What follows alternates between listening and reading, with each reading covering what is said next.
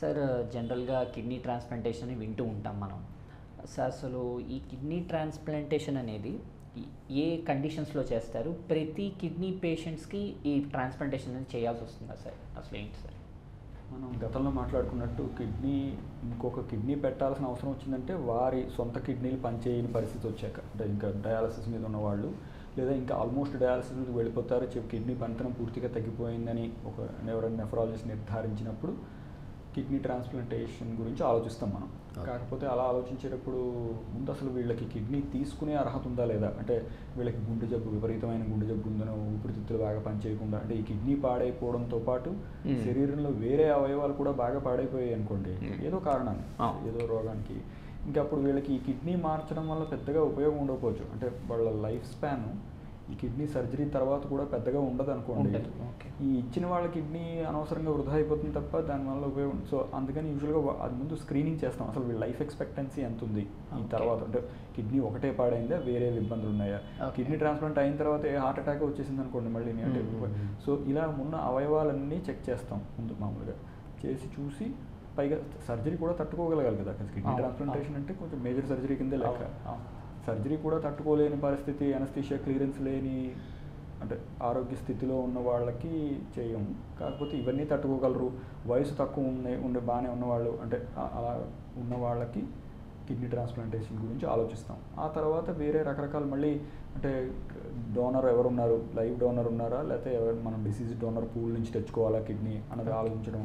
తర్వాత ఖర్చు తట్టుకోగలరా లేదా? మానసిక స్థితి బాగుందా లేదా? అని. ఇప్పుడు శరీరం అంతా బాగానే ఉంది కిడ్నీ ఒకటే పని చేయట్లేదు మనం కిడ్నీ పెడదాం అనుకున్న వీళ్ళు సైకలాజికల్గా ఈ ప్రాబ్లమ్స్ ఉన్నాయో లేదా సడన్గా నేను మందులు వేసుకోవడం మానేస్తాను వాళ్ళ నుంచి అన్న అనేవాళ్ళు ఇలాంటి వాళ్ళు ఉంటే అది ఆ కిడ్నీ వృధా అయిపోతుంది.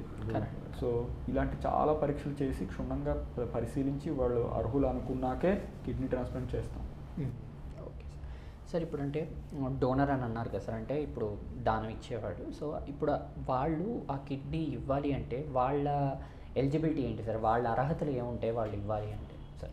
మామూలుగా కిడ్నీ డోనర్లు రెండు రకాలు అనుకుంటాం మనం. లైవ్ డోనర్ అంటే బ్రతికున్న వాళ్ళ కిడ్నీలు రెండు ఉంటాయి కాబట్టి ఒక కిడ్నీ ఇవ్వగలుగుతారు. అది లైవ్ డోనర్ అనేది ఒకటి. రెండు డిసీజ్ డోనర్ అంటారు అంటే మరణించిన వాళ్ళు అంటే ఇంకా మరణించడానికి రెడీగా ఉన్న వాళ్ళు ఏదో కారణం అంటే. బ్రెయిన్ డెడ్ అయిపోయిన వాళ్ళు. వేరే కారణాల వల్ల ఇక ఇక బతికే అవకాశం ఖచ్చితంగా లేదు అని నిర్ధారింపబడిన వాళ్ళు వాళ్ళకి ఇంకా అంటే గుడ్డ కొట్టుకుంటుందో లేకపోతే ఏదో Hmm. ఐసీయూలోను వాటిలోను ఇంకా లైఫ్ సపోర్ట్ మీద ఉన్న వాళ్ళు వెంటిలేటర్ వాళ్ళ కిడ్నీలు అవి ఇంకా పనిచేస్తూ ఉంటాయి బ్రెయిన్ డెడ్ అయిపోయి ఉండొచ్చు కానీ hmm, hmm. అలాంటి వాళ్ళ దగ్గర నుంచి అంటే మనం కన్సెంట్ అది ప్రాపర్గా తీసుకున్న తర్వాత అందులో వాళ్ళు సో రెండు రకాల డోనర్లు ముందు ముఖ్యంగా. సో చనిపోయిన వాళ్ళ నుంచి కూడా తీసుకుంటారు. చనిపోయిన వాళ్ళ కూడా తీసుకుంటారు. కడావరిక్ ట్రాన్స్ప్లాంట్ అంటారు. చనిపోయాను కాకపోతే చనిపోయినా అంటే చనిపోయి చాలా కాలం. అయింది కాదు. మామూలు. ఇంకా చనిపోయిన కొంత టైం వరకు అలా అంటే ఎంత టైం సార్ ఎంత టైం ఉంటుంది? లేదు మామూలుగా అంటే సాధారణంగా మనం ఆ టైం వీలైనంత తగ్గించడానికి చూస్తాం. చూస్తారు. ఎందుకంటే ఒకసారి నిజంగా గుండె ఆగిపోయింది రక్త సరఫరా లేదనుకోండి కిడ్నీకి ఇక ఆ కిడ్నీలో జీవం కూడా తగ్గిపోతూ ఉంటుంది. మనం మరీ ఎక్కువసేపు ఉంచిన తర్వాత ఇంకా ఆ కిడ్నీ తీసిన బయటికి ఇంకా దానిలో జీవం ఏం ప్రయోజనం ఉండదు. సో అది కాక తీయడం అంటే తీసి ఇంకొక మనిషిలో పెట్టే వరకు ఆ టైం ఉంటుంది కదా. ఆ టైం అంతటిని మనం పరిగణలోకి తీసుకోవాలి సో అందులో మళ్ళీ ఆ టైం ఒక్కోసారి మరీ సరిపోదు మనకు అంత టైం అనుకున్నప్పుడు దాన్ని కొంచెం కోల్డ్ స్టోరేజ్లో పెడతారు కోల్డ్. ఫ్రిడ్జ్ లాంటి దాంట్లో చల్లని ఫ్లో ఫ్లో ఫ్లూయిడ్ అది పంపించి దాని ద్వారా ఫ్రీజర్లో పెట్టినట్టు మామూలుగా. అంటే అప్పుడు తొందరగా చనిపోకుండా ఉంటుంది ఆ కిడ్నీ. ఇది బయటికి విడదీసిన తర్వాత లేదా హార్ట్ బ్లడ్ సర్క్యులేషన్ ఆగిపోయిన తర్వాత. ఓకే సో ఇలా అంటే దాన్ని టైం పెంచడానికి మనం ఈ ట్రాన్స్ప్లాంట్ అటు నుంచి తీసి ఇటు పెట్టే పర్యంతం టైం అట్టే లేనప్పుడు చేసే. పనులు ఇవన్నీ. సో ఈ రెండు రకాలు ముఖ్యంగా లైవ్ వాళ్ళకైతే ముందు వాళ్ళు ఒప్పుకోవాలి కదా కన్సెంట్ ఉండాలి. మొట్టమొదట కన్సెంట్ వాళ్ళకి అసలు అది ఇచ్చే ఇవ్వడంలో మర్మం ఏమిటి? ఎందుకు ఇస్తున్నారు? Hmm. వాళ్ళకి ఆ పూర్తి అవగాహన ఉండాలి. ఇవ్వడం వల్ల వాళ్ళకి వచ్చే నష్టాలు ఏమిటి? ఇవన్నీ వాళ్ళు క్షుణ్ణంగా తెలుసుకుని ఆ తర్వాత ఒప్పుకోవాలి. ఇన్ఫార్మ్డ్ కన్సెంట్ అంటాం. అంటే వాళ్ళకి అన్నీ తెలిసి ఏదో అదే, బ్రతికున్న వాళ్ళు. ఆవేశంలోనో, లేకపోతే బాగా ఎవరో తెలిసిన వాళ్ళు అంటే అభిమానం ఉన్న వాళ్ళకి ఇచ్చేద్దాం అని అనుకోవడం కాకుండా అది సరే బాగుంది కానీ ముఖ్యంగా దానివల్ల వచ్చే లాభ నష్టాలు వాళ్ళు తెలుసుకుని అన్నీ ఉన్నవన్నీ తెలుసుకుని మేము కౌన్సిలింగ్ చేస్తాము. సాధారణంగా ఉన్నవన్నీ అంటే రిస్క్లు ఏమున్నాయి బెనిఫిట్స్ ఏమున్నాయో ఇలాంటి అన్ని కౌన్సిల్ చేసి అప్పుడు కన్సెంట్ తీసుకుంటాం ముందు. అది డిసీజ్డ్ వాళ్ళకైతే మరి వాళ్ళంతటి వాళ్ళు కన్సెంట్ ఇవ్వలేరు కాబట్టి అంతకు ముందు ఏమైనా వాళ్ళు వీల్నామా లాంటిది ఏమైనా రాశారా? లివింగ్ విల్ లాంటిది. అంటే ఆర్గన్ డొనేషన్ గురించి అందరూ డ్రైవింగ్ లైసెన్స్లు అప్పుడు అప్పుడు అడుగుతారు.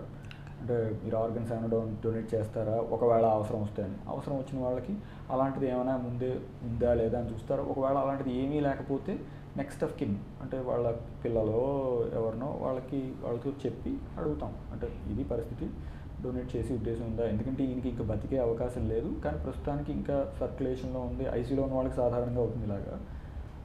ఉందని వాళ్ళు ఒప్పుకుంటే ఆ కన్సెంట్ ప్రాసెస్ అంతా అయిన తర్వాత అంటే వీడియో కాన్స్ వీడియో కన్సెంట్ తీసుకుంటాము. ఓకే. పేపర్ సిగ్నేచర్ డాక్యుమెంటేషన్ అంతా పక్కాగా ఉన్న తర్వాత ఆర్గన్ హార్వెస్టింగ్ అవుతుంది. ఆర్గన్ హార్వెస్టింగ్ కిడ్నీలు అవుతాయి లివర్ అవుతుంది గుండె అవ్వచ్చు అంటే అది. కళ్ళు అవ్వచ్చు. ఇలా రకరకాల ఆ, టైంని బట్టి ఇదిని బట్టి మనం తీసుకుంటూ ఉంటాం. ఇక డొనేట్ చేద్దామని అనుకున్న వాళ్ళకి కన్సెంట్ ఒకటే కాకుండా ఆరోగ్యం ఎలా ఉందని. ఇప్పుడు వాళ్ళకే ముందు కిడ్నీ డిసీజ్ ఉందనుకోండి ఇంకా. వాళ్ళ దగ్గర నుంచి కిడ్నీ మనం ఏం తీసుకుంటాం? అంటే ఏ డిసీజ్ ఉంటే అసలు వాళ్ళు ఇవ్వలేరు సార్. మామూలుగా డొనేట్ చేద్దాం అనుకున్నానికి సాధారణంగా అన్నీ బాగుండాలని అనుకుంటాం మనం. ఒక్కొక్కసారి మైల్డ్ డిసీజ్ ఏదైనా ఉందనుకోండి అంటే ఇప్పుడు ఏదో కిడ్నీలో ఒకసారి ఒక రాయి వచ్చింది అన్నారు అనుకోండి. ఇంక వెంటనే దాన్ని డిస్కార్డ్ చేసాం మనం. అది ఏమిటి అంటే మళ్ళీ మళ్ళీ వచ్చే అవకాశం ఉందా? రెండు మూడు వచ్చాయా? ఎంత సైజ్ వచ్చింది? ప్రొసీజర్ ఏమైనా చేయాల్సి వచ్చిందా? ఇన్ఫెక్షన్ వచ్చిందా? ఇలాంటి అంటే ఇంక వేరే ఏదైనా మెటబాలిక్ కండిషన్ ఉందా? ఈ రాయి రావడానికి ఇలాంటివి ప్రతి ప్రతి కండిషన్కి క్షుణ్ణంగా అంటే ఈ దీనివల్ల భవిష్యత్తులో ఈయనకి ఇబ్బంది వచ్చే అవకాశం ఉందా లేదా అని చూస్తాం. వాళ్ళ గుండె ఎలా ఉంది? ఇప్పుడు వాళ్ళకి హార్ట్ అటాక్ వచ్చేలా ఉందా? డయాబెటీస్ ఉందా? ఎందుకంటే డయాబెటీస్ ఉన్న వాళ్ళకి కిడ్నీ వ్యాధి వచ్చే అవకాశం. ఇలాంటి ఇలాంటి రకరకాల పరీక్షలన్నీ చేసి ఫ్యామిలీ హిస్టరీ ఇప్పుడు డొనేట్ చేద్దాం అనుకున్న వాళ్ళ వాళ్ళ వంశంలో మనం గతంలో అనుకున్నట్టు ఏదో పాలిసిస్టిక్ కిడ్నీ డిసీజ్ ఉన్న వాళ్ళు ఉన్నారనుకోండి నాకేం లేదు అన్నా కానీ ముందు అసలు అంటే అవకాశం ఉందా లేదా ముందు ఆ. చెక్ చేసి స్కాన్ చేసి ఇలాగ క్షుణ్ణంగా ప్రతి అవయవాన్ని బాగా పరిశీలించి ఏదైనా మైల్డ్ది పర్వాలేదు అనుకుంటే దానికి కూడా అప్రైజ్ చేసి అంటే వాళ్ళతో వివరణ తీసుకుని అప్పుడు డొనేట్ చేపిస్తాం అంటే అట్లీస్ట్ ఒప్పుకుంటాం డొనేట్ చేయడానికి.